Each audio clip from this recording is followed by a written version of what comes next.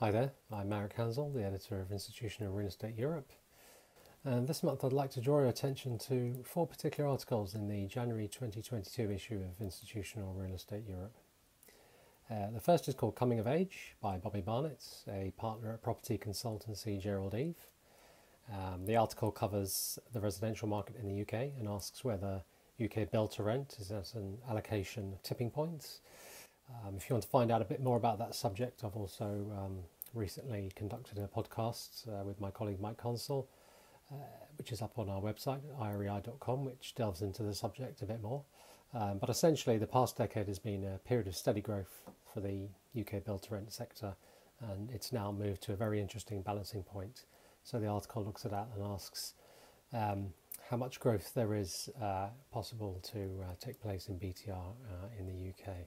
Uh, the second feature is by Miriam Esders, who is ESG Group Officer and Sustainable Real Estate Manager for Freo Group. That's F R E O Group. uh, the article is called Green is the New Black and argues that sustainable real estate is the only option if investments are to last in portfolios.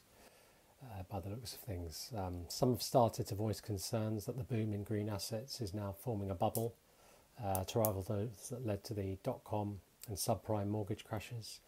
Um, and actually, the Bank of International Settlements has, has noted that the um, the scale of growth in ESG funds is comparable with the private label mortgage-backed securities uh, that um, ballooned before the 2008 financial crisis, before the GFC. Um, and, and meanwhile, within a week of uh, COP26, a group of banks and asset managers led by HSBC had already started lobbying to dilute the targets for the banking industry to wind down the financing of polluting businesses. Um, so, so that risk of greenwashing rhetoric means that um, additional scrutiny um, has entered the conversation when it comes to sustainable investments. Um, does this mean that investors need to backpedal on their enthusiasm for green assets when it comes to real estate? Well, according to uh, Miriam Esders, the short answer is no. Going green with your real estate portfolio is the only thing to do if the asset is going to retain its appeal with investors. Uh, the next piece is by Axel Vesperman head of real estate at Universal Investments, and it's called Rethinking Niche.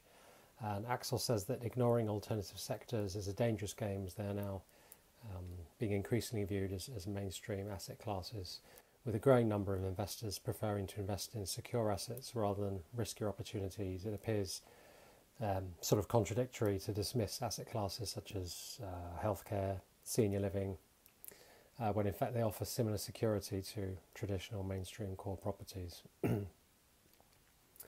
um, and so Axel argues that the dichotomy between established asset classes and niche asset classes, especially in the difficult period we're in now, is, is kind of outdated now, really. And finally, in another feature, Valerie Falcone, head of uh, value add investing at Barings Real Estate, um, argues that now is the time to explore value add opportunities. So that's our January issue. So what's in the next issue, February 2022? Well, there's an examination of the self-storage market in Europe, another look at uh, fast-moving changes in, in ESG, and a bit of a look, look at what we can expect in to happen in uh, 2022. That's assuming that we don't run into any more black swan events, that is.